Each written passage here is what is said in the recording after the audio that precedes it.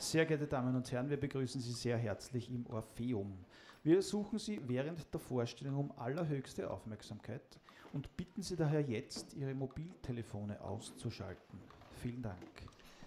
Na, lass uns das. Lass uns das noch eingeschalten, bitte, kurz. Äh, hat noch nicht angefangen, ist, ist inoffiziell. Äh, ich habe eine Frage. Weiß irgendwer von Ihnen zufällig, wie lange der Flug zum Mond gedauert hat? Weiß das irgendwer?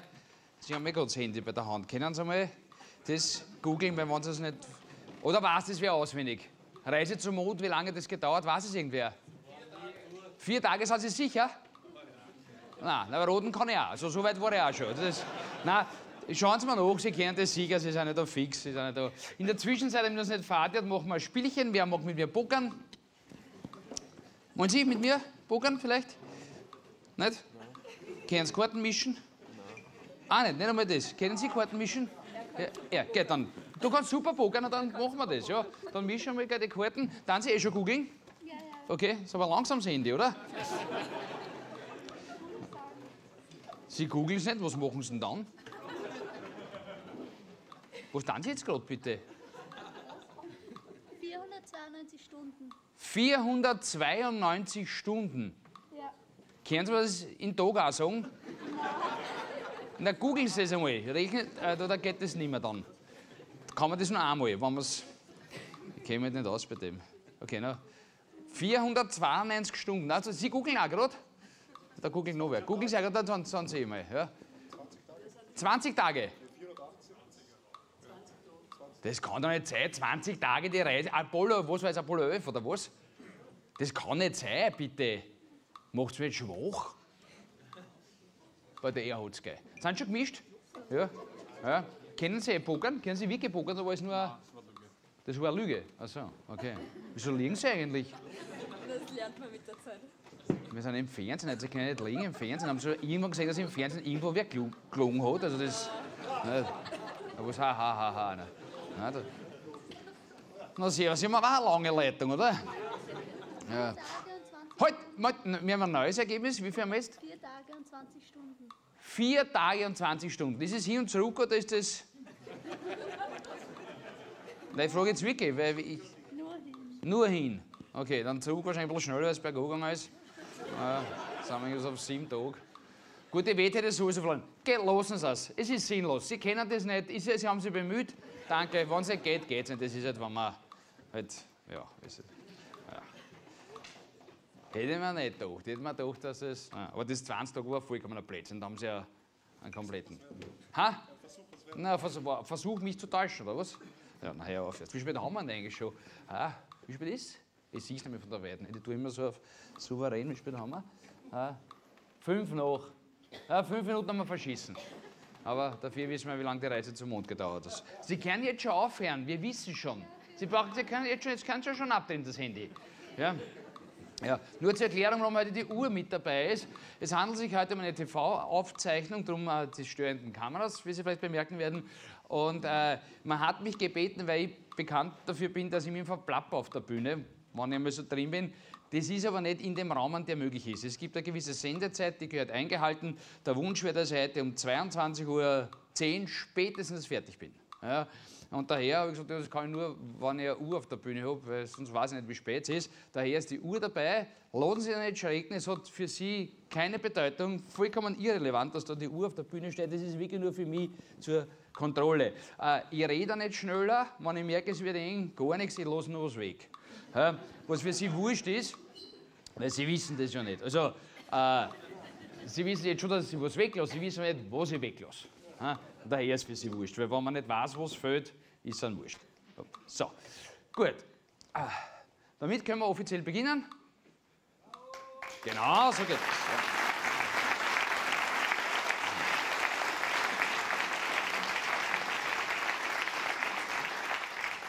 Meine Damen und Herren, ich begrüße Sie recht herzlich zum dritten und damit leider letzten Teil einer dreiteiligen Vortragsserie. Und lassen Sie mich den heutigen dritten Teil gleich einmal mit einem Zitat beginnen. Umso mehr eine Kultur begreift, dass ihr aktuelles Weltbild eine Fiktion ist, umso höher ist ihr wissenschaftliches Niveau. No, Wortzitat, was haben Sie denn jetzt erwartet? Äh, Ein Witz oder was? Okay. Wenig Unterhaltungswert ist mir ganz klar. Aber wir können gerne daraus Unterhaltung machen, wenn das gewünscht ist. Äh, wir können ein Quiz draus machen. Ne? Man kann ja aus allen heutzutage Unterhaltung machen, warum ich doch daraus. Äh, machen wir ein Quiz, pass auf. Äh, was glauben Sie, wer hat diesen klugen Satz gesagt? War es Antwort A, der Dalai Lama? Antwort B, äh, Albert Einstein? Antwort C, Wissenschaftsminister Mitterlehner? Oder Antwort D, der Dakota-Häuptling Crazy Horse? Und das wird jetzt bitte nicht gegoogelt. Jetzt dran wirklich die Hände so. Äh, jetzt müssen Sie allein drauf kommen. Also ich vorausgesetzt, Sie sind überhaupt allein da. Also ich bin nicht allein. Ich sage es Ihnen ganz ehrlich. Also, man, schauen Sie mal, also von allein bin ich ganz weit entfernt, muss man ganz ehrlich sagen. Und wenn man sich ein bisschen genauer anschaut, wirklich allein sind Sie auch nicht. nicht? Also äh, machen wir uns nichts vor, wir haben doch alle etwas von zu Hause mitgebracht, oder? Nämlich unsere Erwartungen. Die Erwartungen an den heutigen Abend. Ihre Erwartungen kenne ich nicht äh, wenn ich den nicht kenne, äh, weil dann könnte es nämlich durchaus sein, dass Ihre Erwartungen meine Erwartungen zerstören und ich werde mir nicht von Ihren Erwartungen meine Erwartungen zerstören lassen. Da ist es mir bei weitem lieber, wenn ich in den nächsten zwei Stunden Ihre Erwartungen zerstöre und damit meinen Erwartungen gerecht werde. Äh, jetzt wollen Sie wahrscheinlich wissen, was ich mir vom heutigen Vortrag erwarte. Nicht viel, also na, was soll man erwarten? Also, äh, was, was, ich mir vielleicht schon erwarte, ist, dass sich keiner hierher verirrt hat. Also Sie wisst ja ganz genau, worauf Sie sich durch den Kauf dieser Eintrittskarte eingelassen haben. Na, es war eine bewusste, Ihre freiwillige Entscheidung, hierher zu kommen. Nicht? Ach so, aha. Wieso sitzen Sie aus beruflichen Gründen da? Oder äh, Verfassungsschutz oder Staatspolizei, Finanzamt oder irgendwas? Oder, oder einem gesellschaftlichen Zwang vielleicht folgend? Eine Einladung, irgendein deppertes Weihnachtsgeschenk oder Geburtstagsgeschenk oder Ah, doch. Ah, okay. Ja, das ist natürlich jetzt blöd. Es gibt oft sehr unüberlegte Geschenke, das muss man ganz ehrlich sagen. Aber nächstes Jahr gibt es dann wieder einen Saturn-Gutschein oder was, oder einen Libra-Gutschein. Ja, dann ist die Welt wieder in Ordnung. Ne? Dann haben Sie wieder die angeblich so freie Wahl. Ja. Sollten Sie jetzt im Laufe des Vortrags trotz Ihrer festen Überzeugung, die richtige Entscheidung getroffen zu haben, indem Sie daherkommen, dann zu der Einsicht gelangen, dass es eine vollkommen falsche Entscheidung war, äh, und sie damit eigentlich den Glauben an sich selbst verlieren sollten, genau dann sind wir auch schon beim Thema nämlich des heutigen Vortrags. Glaube ich nur das, was ich sehe, oder sehe ich nur das, was ich glaube? Denn der Mensch handelt. Entschuldige, dass ich unterbreche. Kannst du das, ich habe den Zettel gerade kannst du das bitte durchsagen? Das dürfte irgendwie wichtig sein. Wo soll ich? Ja, das durchsagen bitte, ich weiß nicht. Ist das ein Scherz? Oder Nein, das ist kein Scherz, ich habe das selber gerade erst gekriegt. Tut mir leid. Alter, äh, das ist übrigens der Herr Christian Clementer, mein treuer Licht- und Tontechniker und Tourbetreuer. Äh, das ist mal.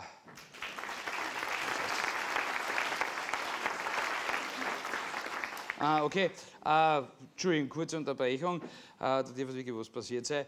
Äh, der Lenker des Kfz äh, KR83 KR835BU möge dringend äh, das Fahrzeug wegstellen, er behindert einen Rettungseinsatz. KR835BU. KR ist, glaube ich, was ist? Krems. Okay. Und was ist jetzt gerade da herinnen passiert? Ist da jetzt in irgendjemandem so ein unangenehmes Gefühl entstanden?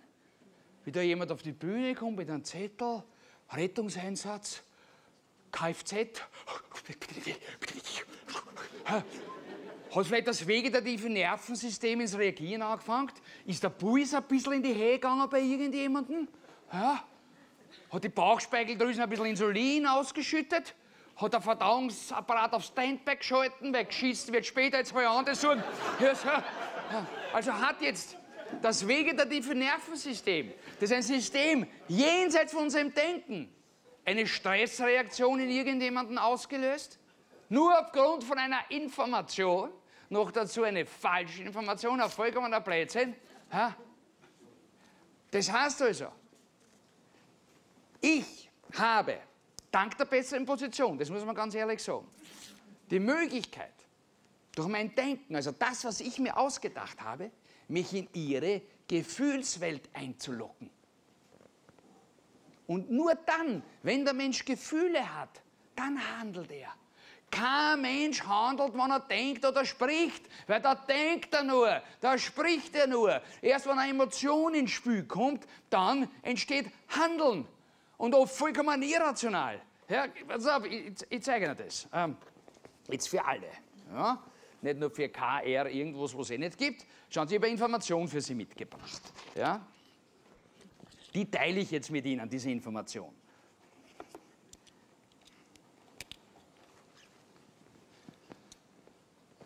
Das ist Information. Okay?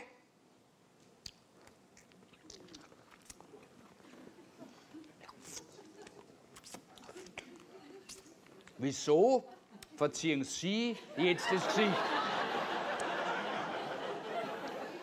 Können Sie mir rational erklären, warum Sie jetzt Ihr Gesicht verziehen? Wer hat jetzt gerade von der Zitrone geschleckt? Ich oder Sie? Schauen Sie. Haben Sie das Sauergefühl in der Pappen gerade? Da ging ja euch gerade ein bisschen so zusammenziehen, krampft ihr gerade? Also ist diese Information in Ihrer Gefühlswelt gerade angekommen? Ja, und genau dann handelt der Mensch. Ohne dass er weiß, dass er handelt. Das heißt also, diejenigen, die die Kontrolle haben über die Information, die haben nicht die Kontrolle über unser Denken. Glauben Sie an den Schatz, was sie irgendwo im Internet aufschnappen? Die haben die Kontrolle über mein Denken. Nein, die haben im besten Fall die Kontrolle über unsere Gefühle. Warum glauben Sie, dass die politischen Parteien so geil drauf sind, dass sie in diesem ORF irgendwas zum Mitreden haben? Weil die gern gute Serien sehen oder was? Na, da geht es nur um die Information. Da geht es um die Zeit im Bild, um sonst nichts. Und was ist Information? Nix. Weil es ist jetzt nichts mit ihnen passiert. Und sie verziehen ihr Gesicht. Es hat also was ausgelöst, das Nichts. Also insofern ist es wieder alles. Das ist der, oder das Paradoxon der Information. Also, was ich mir Finger verwenden, homöopathische Produkte zum Beispiel. Okay, äh, eh, bescheiden, aber trotzdem. Da ist nichts drin. Da ist chemisch nachweisbar nichts drin, außer Information. Und jetzt sagt man diesem äh, Medikament äh, nach, dass es äh, helfen kann, den Körper zur Heilung zu bringen. Nur durch Information. Das heißt, da ist eine Information, die muss jetzt irgendwo angespeichert werden, logischerweise. Nicht? Zum Beispiel in Wasser. Ja? Das heißt, dort, wo das hergestellt wird, das Präparat, redet einer in ein Wasser Informationen.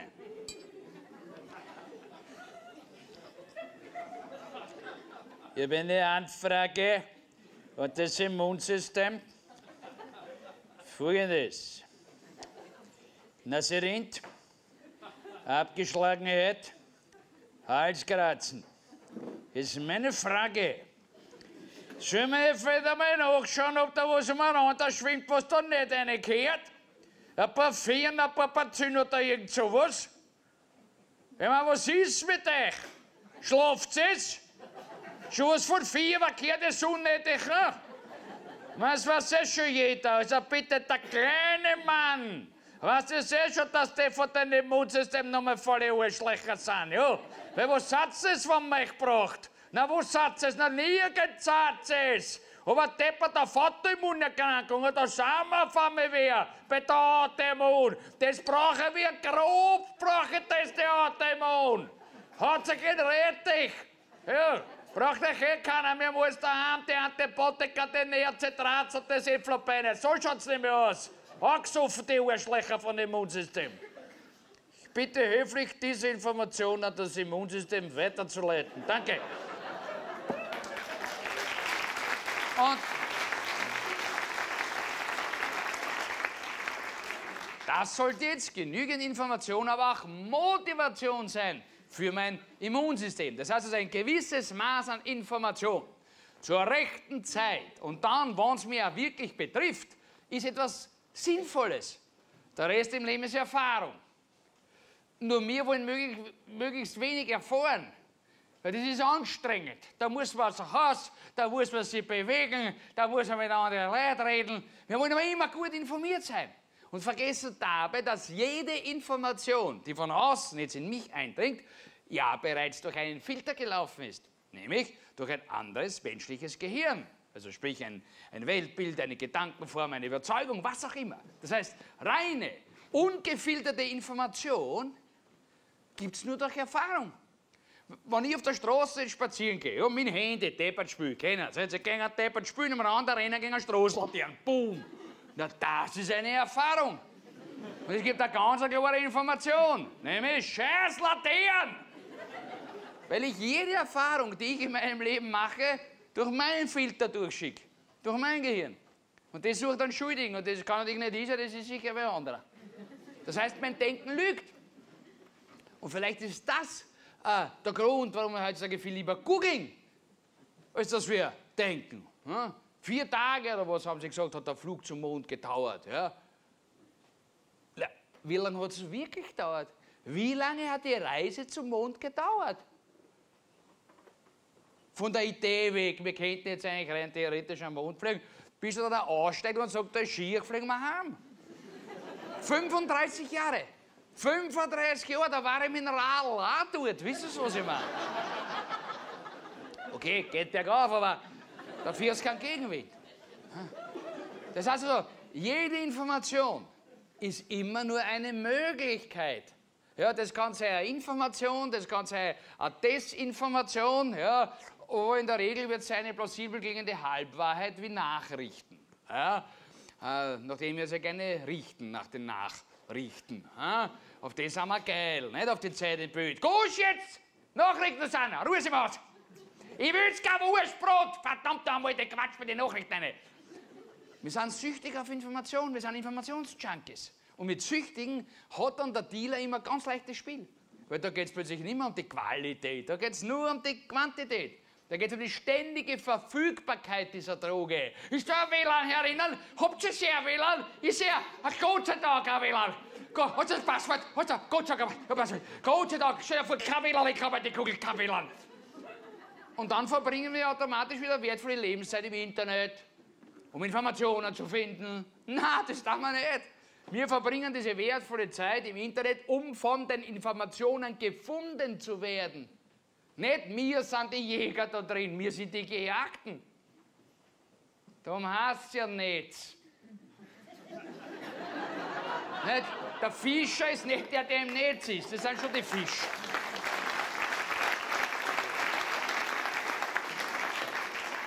Und was muss ich machen, wenn ich gejagt werde? Ich muss untertauchen. Ja, äh, vorzugsweise in einer Menschenmenge. Aber selbst im öffentlichen Raum, zum Beispiel in einer Straßenbahn, ist man ständig unter Informationsbeschuss. 46 Sitzplätze, 91 Stehplätze. Missbrauch wird bestraft. Liebe Fahrgäste, Sie verhindern die Abfahrt. Bitte halten Sie den Türbereich frei. Tag der offenen Tür. Kurz ziehen, kurz drücken. Dieser Zug wird videoüberwacht. Ebola, schon in drei Wochen in Europa. Bitte seien Sie achtsam. Sunless Beauty Lounge. UV-freie natürliche Bräune in nur einer Minute. Rauchverbot. Bitte schauen Sie, ob jemand Ihren Sitzplatz dringender benötigt. Vielen Dank, dass Sie an Ihre Mitmenschen denken. Denken Sie an die Möglichkeit einer Notbremsung. Wagen hält. Den gelb gekennzeichneten Türbereich frei halten. Warum nur den einen? Du kannst alle haben. Liebe Fahrgäste, Sie verhindern die Abfahrt. Bitte halten Sie den Türbereich frei. Bitte sich festzuhalten. Halten verboten anfangen. Halten verboten Ende. Jetzt. Zugreifen. Ganze Stadt im Internet. Du kaufst ein, ich bring's heim. Benutzen Sie stets die Haltegriffe. Totaler Abverkauf. Aktionswoche. So Schrott ist unser Eurofighter. Wenn es wirklich wichtig ist, dann mit der Post. Gratis, unbegrenztes Daten.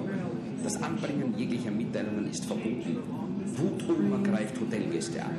Vorsicht, Dachlawine. Ruhe bewahren und Anweisungen befolgen. Ruhe bewahren, Ruhe bewahren und Anweisungen befolgen.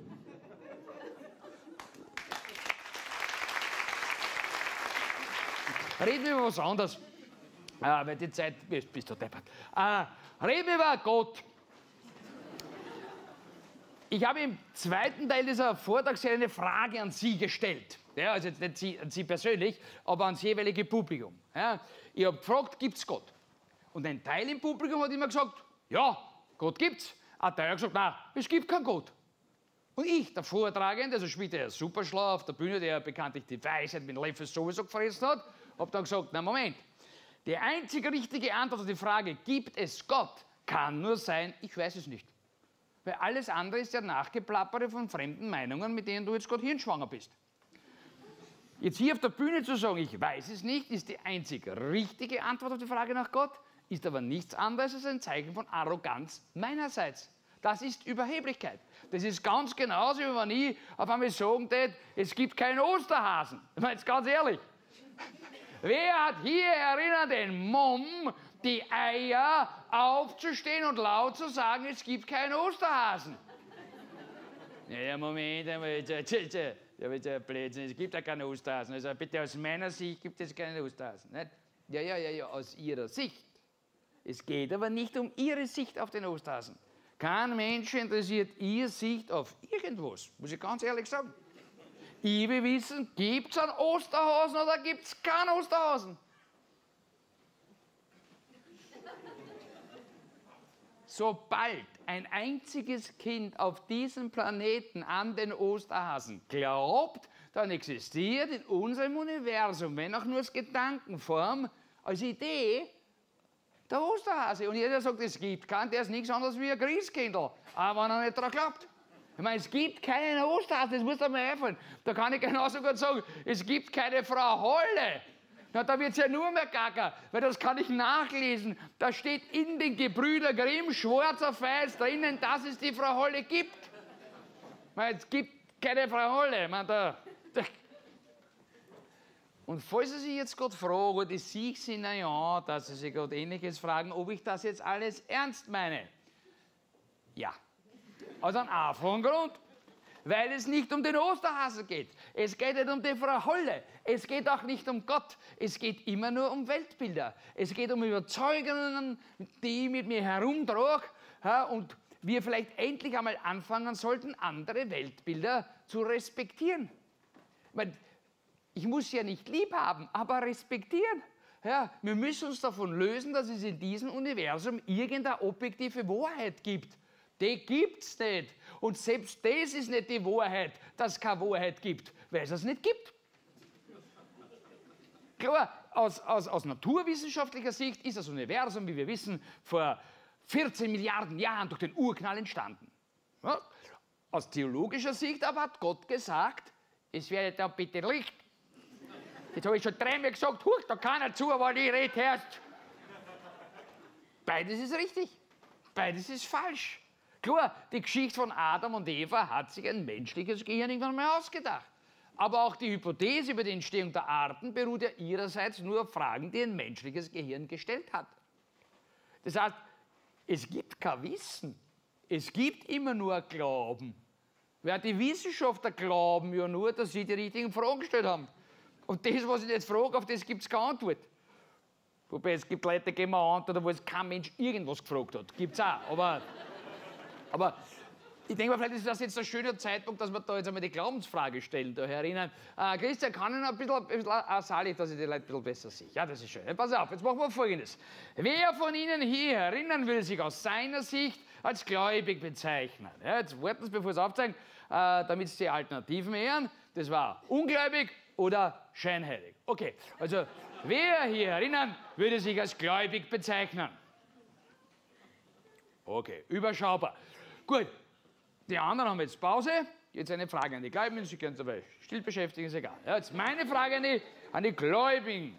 Ja, wer von den Gläubigen glaubt an Tor? Tor. Gut. Wer glaubt an Jupiter? Wer glaubt an Zeus? Wer glaubt an Horus? Wer glaubt an Ra? Wer glaubt an Shiva? Wer glaubt an Yahweh? Ha? Shiva? Ja, okay. An alle gleich, alle Sieger, Sieger so war. Ja. ja. Sie haben mehr Lebensversicherungen daheim wahrscheinlich, nicht? Wer glaubt an Allah? Ah, wer? Wer glaubt an Allah? Ah, wer glaubt an Jesus Christus? Also wer ist Christus erinnern? Was ist das jetzt auf einmal so taghaft? Was ist auf einmal? Scheißt sich jetzt gerade an? Also jetzt ist Scheiße, gerade dass jetzt was passiert, wo, dass ich und sage, ich bin Christ. Ja, wenn ich jetzt mich melde, dann sagt er wieder was Grausliches. Dann sagt er sicher, ich bin ein Kerzenschlicker, ein Kinderficker, irgendwas und den sagt er sicher. Entschuldigen Sie, stehen Sie zu Ihrem Glauben. Dann sagen Sie einfach, ich, ich glaube an Jesus Christus, ich bin Christ. Weil es ist ja nur eine Möglichkeit von Abertausenden. Weil Götter kommen, Götter gehen in der Menschheitsgeschichte. An einem anderen Ort, an, zu einer anderen Zeit würde ich vielleicht allen Ernstes an, an Tatates glauben. Ich hätte furchtbare Angst, dass mir der Himmel auf den Kopf fällt und würde Kabarettistics heißen. ist es nicht wirklich wahrscheinlich, aber äh, die Möglichkeit besteht. Und jetzt meine Frage an die gläubigen Christen unter Ihnen. War es Ihre Entscheidung, Christ zu sein? Hat sich für Sie jemals die Glaubensfrage gestellt oder wurden Sie ganz einfach in eine christliche Kultur hineingeboren? Ja, oder sechs. Für mich aber hat sich eines Tages die Glaubensfrage gestellt. Erste Klasse Volksschule. Bist du Austrianer oder bist du ein Beatler? Na klar, sie lachen wieder. Aber das war keine leichte Frage. Ja, weniger aus ideologischen Gründen, sondern ich habe die Frage nicht verstanden. Weil ich mich einfach nicht für Fußball interessiert habe. Mein Vater, der hat zwar Toto gespielt, aber nicht Fußball. Insgeheim, glaube ich, war er auf Jena Anhänger. Das war so ein Pimpelverein auf der Hohen Warte um so blau-gelb. Jena. Jetzt da in der Schule sage ich, ich bin Jena Anhänger. Ganz genau so wie mein Papa. Pfui, das war ein schwerer Fehler gewesen. Also das, Gottes Willen. Also was, Austrianer oder Rapidler? Violett oder grün-weiß? Also ich muss ehrlich sagen, rein von der Farbe her war mir Violett sympathischer gewesen. Ja? Nachdem jetzt aber unser Klassenstärkster, der Walicek, ja, äh, wobei das war nicht der Stärkste, das, das war der Bladerste. Ja. Und in der kindlichen Wahrnehmung ist das immer dasselbe, Blatt und stark, weil wir es irgendwie gelernt haben. Iss, damit du groß und stark wirst. Was ja heißt, also, ey, friss, damit schier und blatt wirst du vorne, schau dir die Platte so, wie das so ausschaut, ja, dann nimmt er noch Kekse. Also, nachdem die Platte Waliceks so einen grün-weiß gestreiften Ballon da angehabt hat, ich, feiges Arschloch, was ich damals war, mich natürlich lieber auf die Seite der Stärkeren schmeißen wollte, also besser bei denen dabei sein, die hauen, als bei denen die gehauen werden. Äh, logischerweise, nachdem meine Mutter gewundene Keramik gesammelt hat. Also bei uns dann war eh alles grün-weiß gestraft. War es klar, rapid. Und jetzt passiert das vollkommen Absurde. Obwohl ich mich nach wie vor nicht für Fußball interessiert habe, habe ich mich gefreut, wenn mein Rapid gewonnen hat. Oder gar ein Master geworden ist. Wobei, ich weiß nicht, ob die jemals überhaupt Master geworden keine Ahnung. Ja. Hm.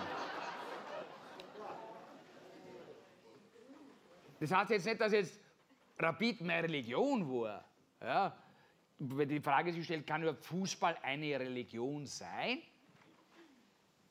Eigentlich schon. Also, wenn es Orientierung bietet, wenn es klare Ziele vorgibt, Erde mit der Wucht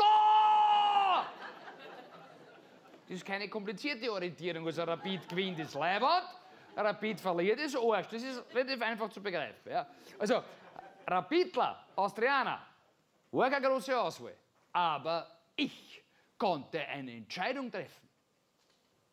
Römisch-katholisch oder evangelisch hab ich mir nicht aussuchen dürfen. Muss ich, bist du römisch-katholisch oder bist du evangelisch? Schau das gut an. Ja? Nein, da hat sich jemand anderer zu meinem Glauben bekannt, nämlich meine durchaus ungläubige, aber wenn es die Situation erfordert, dann scheinheilige Familie. Und da waren wir nicht gesessen im Religionsunterricht. Leistungsgruppe Röm Cut. Ja. Das erste, was wir da gelernt haben, war, glaube ich, das Glaubensbekenntnis, in- und auswendig. Ja. Worüber nie gesprochen wurde im Religionsunterricht, ist die Geschichte dieses Glaubens. Warum? Ganz einfach deswegen, weil es keine Geschichte für Kinder ist. Es ist eine grausliche, es ist eine Geschichte von Mord und Totschlag. Die Geschichte unseres Glaubens ist eine hauptsächlich von Männern, muss man dazu sagen, also mit viel Testosteron und Blut geschriebene Geschichte. Und die Geschichte unseres Glaubens die ist noch nicht zu Ende erzählt. Jetzt geht es wieder so richtig los. Merken Sie das, der kollektive Wahnsinn? Zuerst waren es einmal die Christen gegen die Juden. Ne? Gegen die Gottesmörder, die Juden, die Gottesmörder, Gottesmörder, Gottesmörder. Ich meine, Jesus von Nazareth war Jude, sagt man. Ja? Das heißt, der ist als Jude auf die Welt gekommen, der hat als Jude gelebt und ist als Jude hingerichtet worden. Der hat das Wort Christ niemals in seinem Leben gehört. Und bei dem Begriff römisch-katholisch hätte er wahrscheinlich eher an eine ausgefallene Liebestellung mit seiner Maria Magdalena gedacht. Jetzt, Baby, mach was noch mehr römisch-katholischen haben, tut der alles weh. Nimm mal römisch-katholisch, bitte. Und aufgehängt haben wir übrigens die Römer. Also die Gottesmörder sitzen, wenn dann, in Italien. Ja, vielleicht sogar im Vatikan. Äh, ein paar Jahrhunderte später hat die arabische Welt Angst bekommen. Angst bekommen, dass sie von einer fremden Kultur überrannt wird. Ähnlich wie wir jetzt die Angst haben, ja, eine fremde Kultur kommt und dann müssen wir irgendwas und wir haben nichts dagegen zu halten, gar nichts. Äh, und warum jetzt was Neues aus dem Hut zaubern, wenn man eine alte Geschichte ein bisschen umbudern kann? Sie sind hergegangen, haben die christlich-jüdische Tradition ein bisschen so modifiziert und der Islam war geboren. Und dann ist es losgegangen, ja, Christen gegen Muslime, die Großsteine haben. Dazwischen Christen gegen Christen sowieso, äh, Muslime gegen Muslime haben sie auch die Großsteine. Jetzt momentan die Christen und die Gottesmörder vereint gegen die Muslime. Und in einem, und das ist dann wieder spannend, sind sich diese wirklich schwer verfeindeten Gotteshooligans doch wieder einig. Nämlich, das Reich Gottes steht praktisch vor der Tür und damit auch der Weltuntergang. Und äh, die Gläubigen, also die in der richtigen Clubfarbe, die kommen dann in den Himmel oder ins Paradies und die anderen, na, die werden plätschern. wenn der Messias kommt, der das jüngste Gericht tagt, oder wenn der zwölfte Imam dann aus dem Brunnen rausgreift. Hätte er schon machen. Also, laut Prophezeiungen hätte der zwölfte Imam aus dem Brunnen klettern sollen und vielleicht ist der schon rausgekreuzt. Was wissen wir? Der ist rausgekreuzt und gesagt, das geht jetzt aber nicht. Und ist gleich wieder verschwunden. Also soweit ich informiert bin, ist die, Welt bis zum heutigen Tage noch nicht untergegangen. Aber das, vielleicht irre mich, kann man sicher googeln, weiß ich nicht. Ja. Aber möglicherweise fehlen Gott ganz einfach die technischen Möglichkeiten, um diesen Weltuntergang auszulösen. Weil dazu braucht es ja was. Dazu braucht es Atomsprengköpfe, dazu braucht es äh, biochemische Waffen, Langstreckenträgerraketen und das hat Gott nicht. Ja, die haben wir. Ich finde, da sind diese Dinge wirklich in guten Händen. Weil die Gotteskrieger könnten jetzt rein theoretisch aufhören, diese Apokalypse herbeizuschwören, denn sie könnten sie in Gottes Namen selbst auslösen. Ne? Pip. Das hat aber jetzt nicht nur was mit Gotteswahn zu tun. So fair muss man schon sagen, das ist auch irgendwie ein Zeichen von technischem Fortschritt. Jedes Selbstmordattentat ist nicht nur religiöser Wahn, das ist auch technischer Fortschritt. Weil ohne Schießpulver in einer Menschenmenge mit einer Steinaxt bewaffnet, da gäbe es bei einem Selbstmordattentat genau ein Opfer, nämlich den Täter. Wenn wir die anderen vorher mit Nosenfetzen erschlagen. Also, hat dieser kollektive Wahnsinn jetzt wirklich so viel mit Religion zu tun, wie wir glauben? Oder geht es vielleicht um ganz andere Sachen? Geht es da vielleicht um machtpolitische Interessen von einem Imperium? Geht es um ökonomische Interessen? Vielleicht geht es um Geheimreligionen, das kann auch sein. Und, äh, die geheime Religion, die steht ja immer über der offiziellen. Nicht? Die offizielle ist mein Mäntelchen, aber das, was wirklich ist, ist die geheime Religion und die oder jeder. Nicht? Erzählen Sie mir nicht, dass Sie nichts glauben. Das geht nicht als Mensch, du kannst nicht nichts glauben. Wie soll das gehen? Hm? Jeder betet irgendetwas an, hat ein Objekt der Hingabe. Jeder. Ja, die, die Männer beten die Frauen an. Ja? Wenige Frauen die Chippendales. Ja. Manche beten den veganen Lebensstil als das einzig Richtige an. Ja, andere die Rohkosternährung. Äh, andere wiederum die Paleo-Diät. Die meisten die Leberkassemme. Äh, Manche beten den Sozialismus an, manche den Marxismus, manche den Kommunismus, manche den Neoliberalismus, manche den Faschismus, manche das Apfelmus. Und das ist das kleinste Übel von allen Mus, weil dagegen ist es nur Scheißerei.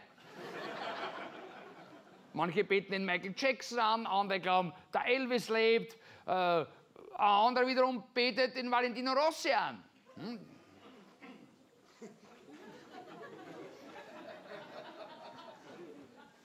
Ich war sehr traurig. Ich war sehr traurig, wie es ihm jetzt in Texas auf Pappen gehabt hat. Und ich finde nicht, dass es sein Fehler war. Einmal die Ecken ein bisschen zu weit innen angefahren ist und dann mit viel Öl eine ist und dann übers Vorderrad lang schießt dann dieses scheiß auf. Weißt Gut, die anderen haben es auch, aber er trifft es halt am härtesten, weil er so lange schon die Bridgestone gewohnt war. Aber er wird schaffen. Oder ist da irgendein Marquez-Fan herin? Das ist gut.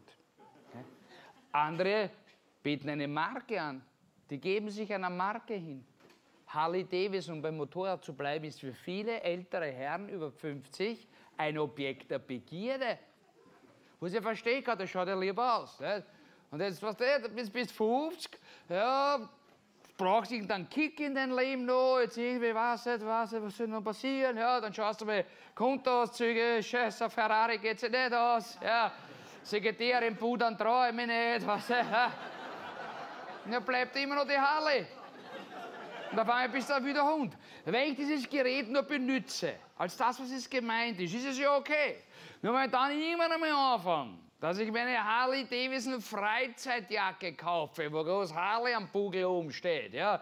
Ich die Harley natürlich nur mit der Fransenjacke besteige, stilgerecht, ja, damit ich merke, wie vorher da stehe. Wisst ihr, mir fährt schon, flattert schon. Ja. Aber nicht. Wenn ich mit Gleichgesinnten zum Harley Davidson Treffen am Farkasee pilgere, dann bin ich Teil einer Glaubensgemeinschaft. Und wenn ich dann noch sage, Harley, das ist ja nicht nur der, ein Motorrad, das ist eine Lebenseinstellung, dann bin ich entweder ein religiöser Fanatiker oder ich bin ein Harley-Dealer. Also jemand, der mit religiösen Fanatikern sehr gute Geschäfte macht. Und denen seine Religion ist nämlich nicht Harley Davidson, das ist die Gewinnmaximierung. Stückzahlen, Stückzahlen, Stückzahlen. Und das ist es doch, was die meisten in dieser angeblich christlichen Kultur heutzutage anbeten. Ja? Profit, Geld, Macht, Ansehen, Status, dafür sind bereit, alles zu opfern. Alles. Die Gesundheit, die Familie. Und da muss ich mich fragen, ob es nicht das kleinere Übel gewesen wäre, irgendeinen depperten Berggott anzubeten. Oder den Affengott Umbawunga. Weil von dem Gott will ich nicht mehr. Ich habe keine Angst, dass ich ihn verliere, dass mir der Gott gestohlen wird. Jetzt haben sie mich Gott gestohlen, die Arschlöcher. Aber heiligen Tag flattern sie dein Gott. Das hätte es früher nicht gegeben. Wirklich. Weil ich bin jetzt selber schuld. Da lasse ich einmal auf der Straße und stehe, sonst steht er immer in der Garage. Es ist aber. Andere beten ihren Körper an. Ja, also den Körper eh nicht. Ja? Das äußere Erscheinungsbild des Körpers, das ist es, was wir heutzutage anbeten. Das, wie du auf die anderen wirkst. Wichtig ist nicht, dass du 100 Liegestütz kannst. Wichtig ist, dass du ausschaust wie einer, der eventuell 100 Liegestütz kennt. Das ist wichtig. Ja? Ja, die Vitalität, die du versprühst, die Jugend auch noch im Alter. Da kannst du nur verlieren auf lange Sicht. Da gewinnen immer die anderen die Schönheitsindustrie, die Kosmetikindustrie, die Fitnessindustrie, die Wellnessindustrie, die Anti-Aging-Industrie, ewige Jugend, alles machbar, Herr Nachbar, optisch. Aber der Geist ist irgendwann verstorben. Der ist schon verwesen, das riecht man oft schon. Die Körpersäfte sind verpilzt und verdümpelt, aber die Haut glatt wie ein Babyarsch. Und jede Falte ein kleiner Weltuntergang. Aber wer weiß, wenn der tatsächliche Weltuntergang ein vollkommen unspektakuläres Naturereignis, wenn die Sonne dann in 10 Milliarden Jahren wieder verglühen wird. Da wird es kurz noch mehr heiß, es gibt keine Übergangszeit mehr. Ja. Und dann wird es kalt. Hm. Aber lang. Ja. Aber auch noch eine Möglichkeit. Vielleicht sind wir schneller. Nur, da brauche ich keine Gotteskrieger. Da reicht schon Otto Normalverbraucher und sein Glaube ans ewige Wirtschaftswachstum. Otto Normalverbraucher. Normalverbraucher. Normal verbrauchen. Es ist in unserem Weltbild vollkommen normal, das, was da ist, zu verbrauchen. Und schauen Sie sich selber ein bisschen um. Wenn wir darüber reden, dass wir jetzt die christlichen Werte wieder verteidigen müssen, was für Werte? Gehen Sie in ein Shoppingcenter, dran Sie den Fernseher auf und suchen Sie christliche Werte. Ist unser Verhalten geprägt von irgendwelchen christlichen Werten? Haben wir als Kinder Jesus und die Apostel gespielt oder Cowboy Indianer? Oder Spider-Man gegen Batman? Was haben wir gespielt? Sind unsere Helden Loser? Loser wie Jesus von Nazareth, die Aufgehängten, oder sind unsere Helden nach wie vor heidnische, nämlich Sieger, Sieger wie Django, Rambo, John McLean. Now I have a machine gun, ho, ho, ho, ho. Oder Leonidas. Ah, das ist doch Wahnsinn. Nein, das ist Sparta. Puff. Huh. Und der Bärser fliegt in den Brunnen. Da geht uns das Herz auf, oder? Also von was reden wir? Unsere Helden sind heidnische Sieger, unsere Sportler, die Skifahrer, die Helden von Cordoba.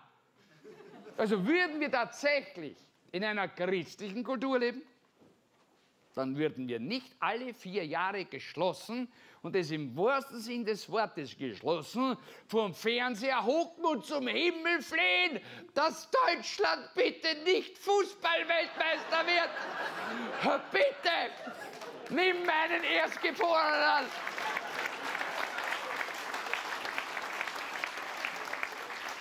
Und bitte nicht die Piefke! Nein, in einer christlichen Kultur äh, würden wir wahrscheinlich beim Public Viewing Blunzenfett bei Brot und Wein uns an den Passionsspielen ergötzen. Wir würden bei der Auferstehungsszene alle pudelnockert am Tisch tanzen. Ole, ole, ole, ole. In einer christlichen Kultur würde niemand einem Guru hinterherlaufen. Keiner dann in einer christlichen Kultur zum Psychotherapeuten rennen. Es darf niemand in einer christlichen Kultur im Esoterik-Shop Deppensteier erzählen für ein Heilsteinchen fürs dritte Chakra. Da merkst du wieder die Energie, wie es wieder aufmacht, wie es wieder fließt. Ja, es will auch niemand in einer christlichen Kultur Flugreisen unternehmen nach Indien zur Selbstfindung. Habt's wie gesehen, daheim bin ich nicht. Ich hab schon überall geschaut. Ich bin verzweifelt, wo ich schon überall war. Nein.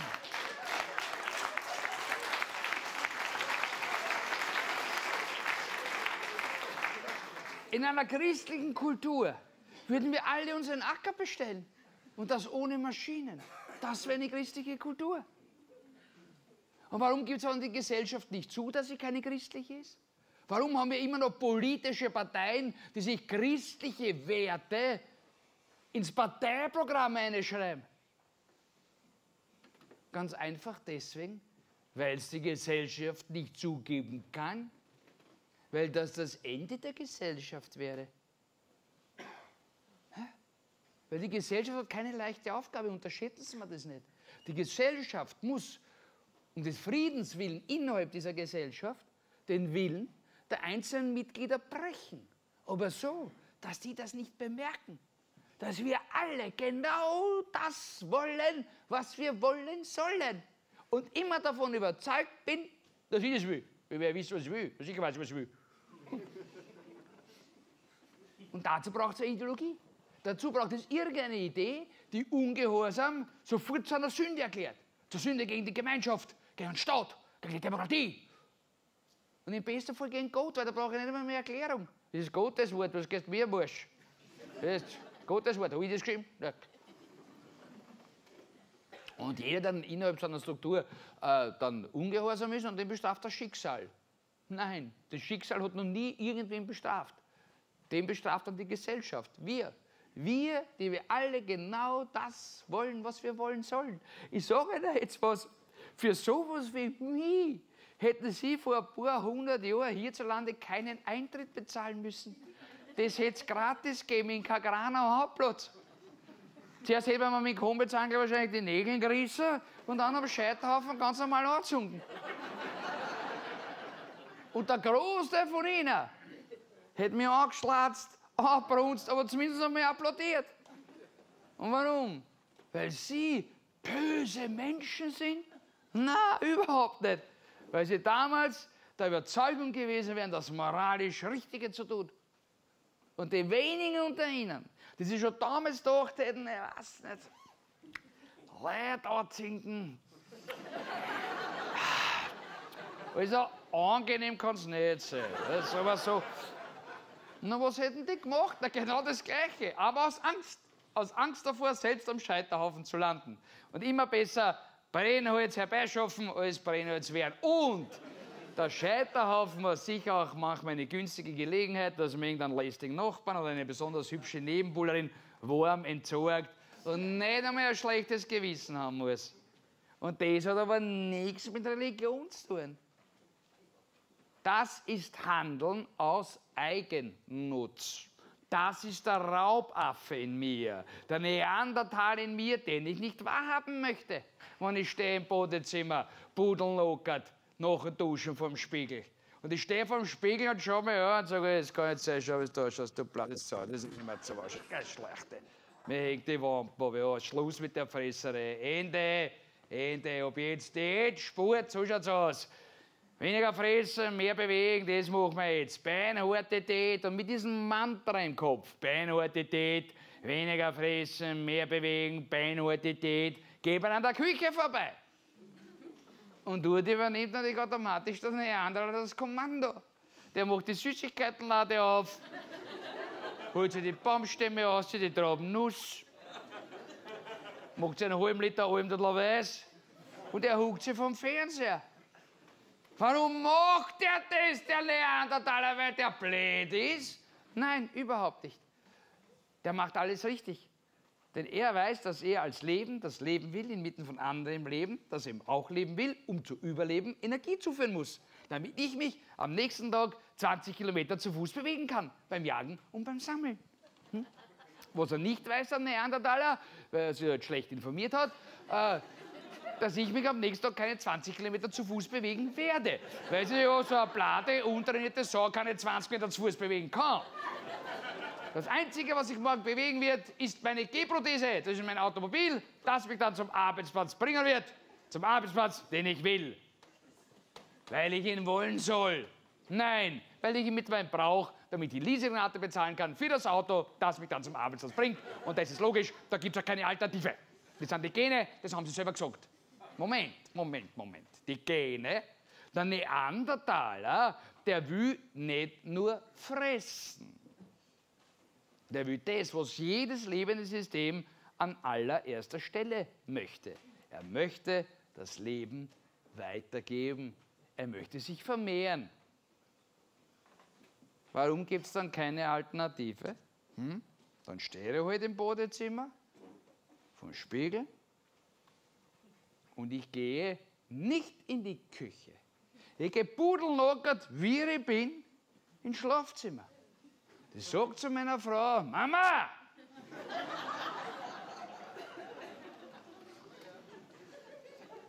Tu mir die Locken mit Glaube, heute Nacht wird durchbohrt. Und meine Frau, sie wird mich anschauen und wird sagen, nein. Was einer Platensau rausbar, das habe ich schon hundertmal gesagt. Dann werde ich sagen, okay, gut. Dann tut er trotzdem die Locken mit Glaube, damit mir nicht grast. Siehst nach dem da ein bisschen in die Höhe und den werden wir da jetzt einen runterholen. Meine Frau wird sagen, wozu? Ich würde sagen, was heißt wozu? Weil ich das Verlangen habe, ihr abzuspritzen, verdammt nochmal. Meine Frau wird sagen, da am Teppich. Mit was kriege ich das dann weg? Und dann will ich sagen, ja gut, dann spritze ich halt den Bauch, dann spritze ich ins Gesicht. Mein Gott, nein.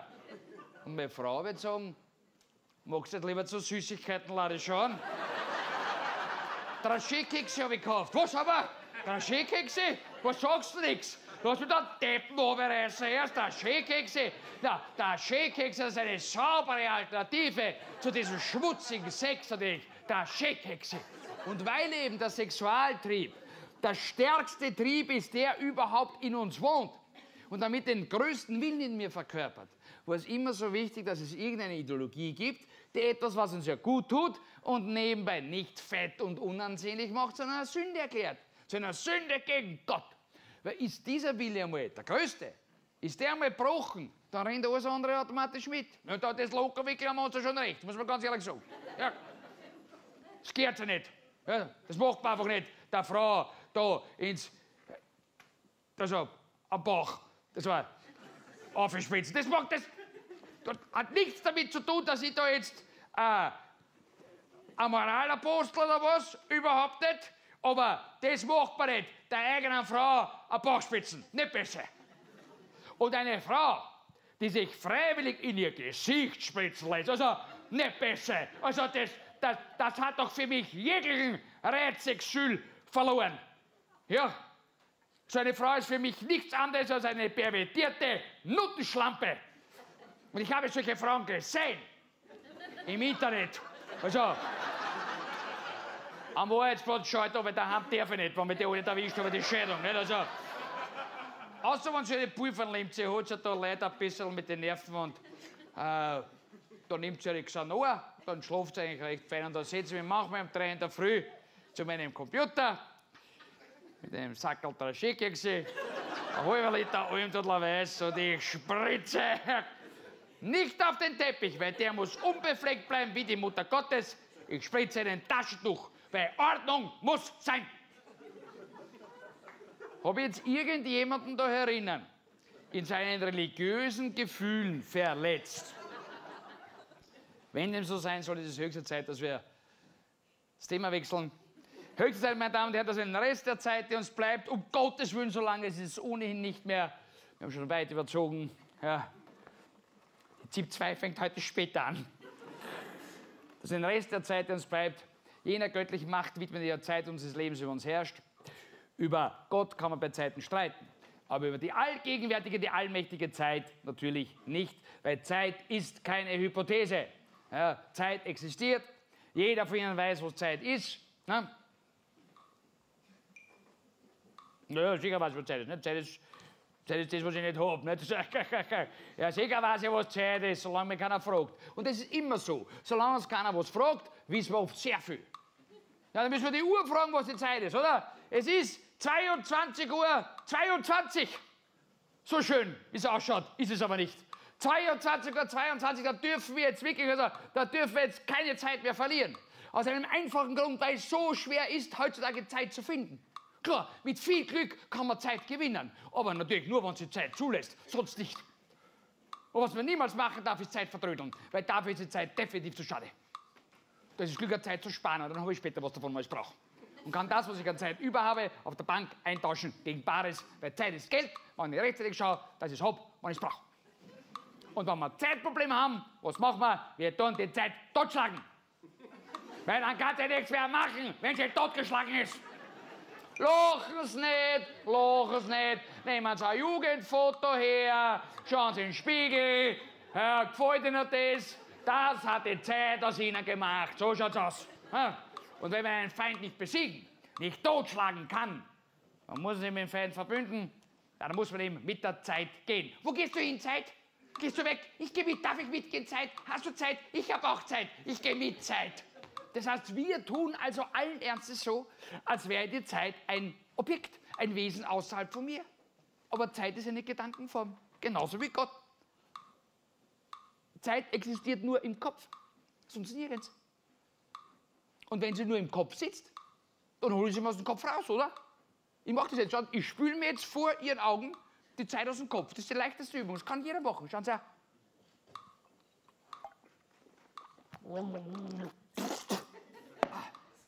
So, da ist drin. Die Zeit. Eine Lebenszeit. Und irgendwann einmal rinnt die Zeit dann aus der Karaffe heraus. Und dann macht die aber was Interessantes in unserem Weltbild, im Linearen. Rinnt die nicht irgendwo hin? Na, die rinnt in einer geraden Linie Richtung Weinflasche. Und dann rinnst du eine, dann macht dann ein Deckel zu und mein Leben ist Geschichte. Das heißt also zwischen dieser Wasserkaraffe und dieser Weinflasche, das ist mein Leben in unserem Denken. Das ist ein endlicher Zeitraum. in dem ich aber unendlich viel erleben möchte. Und das ist wieder ein Dilemma. Ich weiß jetzt schon, mit 52, was ich in meinem Leben alles nicht erlebt habe mehr. Das kann ich mir jetzt schon ausrechnen. Ich werde nie am Mount Everest gewesen sein. Ich werde nie in meinem Leben werde ich Klavier spielen können, so jetzt mit 53 Klavier spielen anfangen können, von Singen rede nicht. Ja, was ist das für ein Tod? Wenn ich sage, ich bin nie in meinem Leben in einem russischen Atom-U-Boot mit Raupenantrieb durch das Eisberg gefahren. Warum durfte ich das nicht erleben? Mit der Connery, der hat auch dürfen. Das erzeugt Stress, merken Sie es. In einem anderen Zeitmodell, und das war das Zeitmodell, in dem der Mensch über ein paar tausende Jahre so gut aufgehoben war, da war die Zeit nie eine Linie, das war immer ein Kreis. Weil es in der Natur keine gerade Linie gibt, da gibt es nur Zyklen. Da gibt es keine Zeit, da gibt es Veränderung, da gibt es äh, Bewegung, da gibt es geboren werden, sterben, reifen, vergehen. Es gibt aber nirgends eine Zeit. Bitte gehen Sie in den Wald und suchen Sie eine Zeit. Die kannst du nicht finden. Dort gibt es nur den jetzigen Moment. Und wenn es nur den jetzigen Moment gibt, da gibt es auch keine Zukunft, dann gibt es keine Vergangenheit. Und dann muss ich mich nicht mehr böen, weil ich bin ja schon da. Wo, will ich, wo will ich? Also der einzige Grund, warum ein Neandertaler gerannt ist, war, wenn er auf der Flucht war. Vom Säbelzahntiger, so guter Grund, dass man rennt. In unserem Zeitmodell ist die Zeit aber der Säbelzahntiger. Der möchte in Stücke reißen. Was wurscht ist, weil die Zeit heilt alle Wunden. Auch Bisswunden wahrscheinlich. Nur halt leider nicht gleich. Zuerst in der Zukunft. Und das ist der Ort, wo wir alle hinwollen. In die Zukunft. Weil jetzt geht es wirklich um die Zukunft. Und wo steht zwischen mir und der Zukunft? Ein Gegenwart. Wo man hingeht, steht ein depperte Gegenwart umeinander. Ich muss immer das Jetzt überwinden, damit ich dort hinkomme, wo ich will. Weil genau weiß, erst dann, wann, dann, wenn ich einmal 16 bin, wenn ich ein Moped habe, dann aber. Na, Moment, wenn ich 18 bin, wenn ich das Auto habe, na dann, da, da. Na, wenn ich dann einmal von daheim ausgezogen bin, dann, wenn, mal, wenn ich mal eine fixe Freundin habe, dann einmal, wenn wir eine eigene Wohnung, dann, dann, wenn wir, wenn wir dann, wenn Kinder, wenn wir haben, dann einmal, dann, wenn die Kinder außer Haus sind, dann werden wir einmal, dann, wenn wir in Pension sind, na, was glaubst du, in Pension hat, dann einmal, wenn wir gestorben sind, dann, ja, was ist dann? Im christlichen Denken ganz einfach. Im christlichen Denken beginnt dann nach der Weinflasche die Ewigkeit. Aber die Ewigkeit, die war schon von der Wasserkaraffe. Die Ewigkeit ist nicht mehr überall. Nur nicht da dazwischen. Weil da rennt nur depperte Zeit. Es wurscht, was du machst. Du kannst dich nicht aufhalten. Sie, wie es tickt? Na, haben wir wieder fünf Sekunden verschissen von diesem kurzen Leben. Und trotzdem aber gibt es in jedem Leben Momente, wo die Zeit stillsteht. Kennen Sie das? Das sind immer diese Momente, wo das Denken auf einmal aufhört, wo diese Zeitblase plötzlich platzt. So eine Zeitbombe. Ist gut Stück gestanden. Die Zeit. Dann waren sie in der Ewigkeit. Aber nicht ewig, sondern nur kurz, weil die Zeit läuft. Jetzt geht weiter. Es ist, was haben wir jetzt? Es ist 22 Uhr. 29. Scheiß mir. Die Zeit wird knapp. Und was macht der Mensch, wenn die Zeit knapp wird? Wir erhöhen die Geschwindigkeit. Das ist ganz einfach. Weil wir das wissen. Naturwissenschaftlich bewiesen, Geschwindigkeit ist Weg durch Zeit. Und wenn die Zeit in dieser Formel, ja, logischerweise die Konstante ist, nämlich meine Lebenszeit, und ich erhöhe die Geschwindigkeit, dann werden alle Wege, die ich zurückzulegen habe, länger. Und die gewonnene Zeit ist beim Teufel. Und wie kann ich dem Teufel die Zeit entreißen? Durch eine Lichtgleichzeitigkeit. Wenn ich es schaffe, dass ich jetzt 80 Jahre lang fünf Sachen gleichzeitig, Multitasking, und das fünfmal so schnell mache, kann ich 2000 Mal mehr erleben als jeder andere. Und das ist ein deutlicher Zeitgewinn. Und wenn ich dabei mit 40er Banker stressbedingt, habe ich immer noch ein Plus von 920 Jahren. Ja, und das kann mir keiner mehr nehmen. Da muss man sich fragen, wer hat uns eigentlich ins Hirn eingeschissen? Dass wir uns von dieser Maschine hier den Takt fürs Leben vorgeben lassen? Diese Maschine hier pudert mir ein Leben lang in den Arsch. Das kann es doch nicht sein. Wir glauben, dass wir durch Zeitmanagement die Zeit verändern können. Ich kann die Zeit nicht verändern. Das Einzige, was ich verändern kann, ist das, was ich in meiner Zeit mache.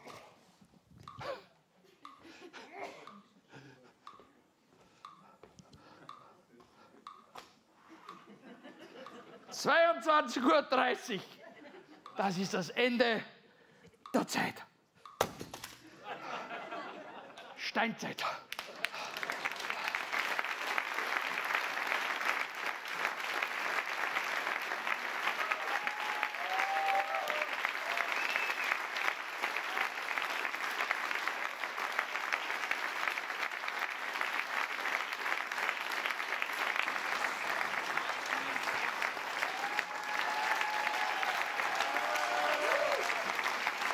Danke sehr.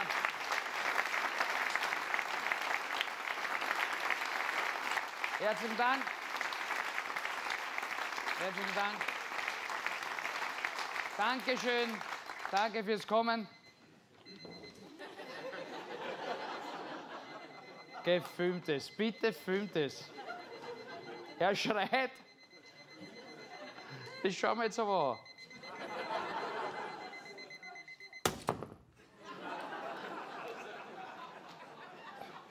Und das war nicht eingeprobt.